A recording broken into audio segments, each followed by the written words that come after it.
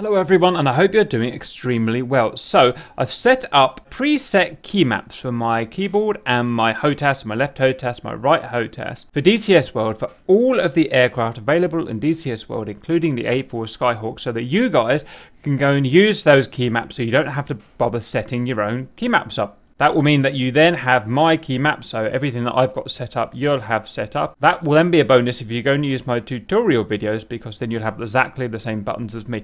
Now, the only problem is this only works at least regarding the joystick or the HOTAS, if you have the same HOTAS as me, as far as I'm aware, which is a Saitek a Logitech X56. As ever, I don't recommend the X56 above or below anything. It's just what I've got, and it you know it works for me. But as well, thousands of you have told me that you guys are buying X56 because I use it, and therefore you can go and use my key map. So I'm going to show you how to use them. Now, I finally, sorry if it took so long, I finally got them working, I believe uh, I'll show you how to install them. So we're going to open up a browser of your choice.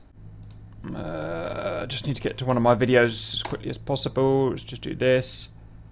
Uh, let's type Grim Reapers. Oops. There we are, look. Uh, modern video, modern video, modern video, modern video, coffee. One of the modern ones. Go. Hello and welcome back to the... Please be quiet. Um, we go to the video description here. I'm going to click show more. Down the bottom here, we've got caps x56 HOTAS maps. Click. This is the keyboard as well as the HOTAS. Click on that. Ping. Here you have all 35 modules in DCS World. Uh, so I'm going to pick on today. Why not the MiG-15? So I'm going to go to the MiG-15. And I've got my right HOTAS.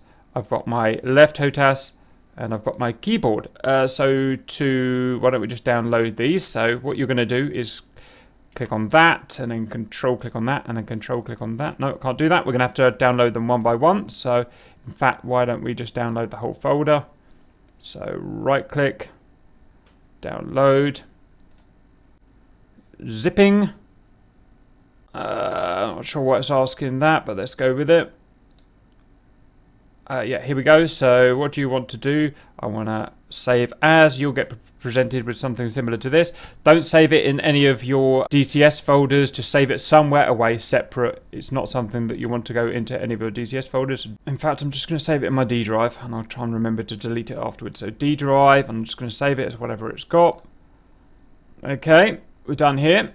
Let's get rid of all of this browser. Let's now go and check that it is in D drive. Ping. Uh, there it is, MIG. Let's get it out of its jacket. Go in here, copy. Whenever you download something, it zips it up into a zip file for safety. Uh, so I've now copied it down there. We can now delete the zip file. Checked check that the MiG-15 files are in there. They are. They all look good. So next we are going to go and import them into DCS. So I'm going to start DCS up. Okay, we're going to go to options. I'm going to go to controls. We're going to go to MiG-15. Find it. MiG-15, MiG-15 real. Okay. And um, I'm going to import these. Uh, I've got keyboard, I've got left HOTAS, I've got right HOTAS. So keyboard here, if I change this just to show you that it has imported it to something, uh, full stop. Uh, in fact, I'll just clear that, it's probably easiest. And now I go to click on the keyboard area here, somewhere here, load profile, and I've got to find where did I put it? Um, blah, blah, blah, D drive. It's called MiG-15. You can see him. There he is. There. Keyboard. Okay. And you can see it's loaded it up and it's replaced what I just cleared. Um, and I could do the left HOTAS. So I'll click on here. That's my left um, Saitek F Logitech X56. So I'll go load profile. I'll load the left. Here I would load the right. Ping, and that's it. That's me loaded up caps MiG-15 profile. I'll keep them up to date because obviously things change as um, as the modules expand and change. Uh, that's it. Uh, like I said, thousands of you have gone out and bought X56s, which is you know it's cool, whatever. So um, you guys can go and download these maps, install them, so you don't have to bother doing the work yourself. Uh, hope that helps, and see you later.